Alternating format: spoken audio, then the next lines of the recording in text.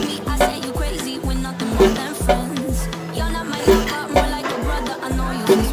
yeah, don't mess it up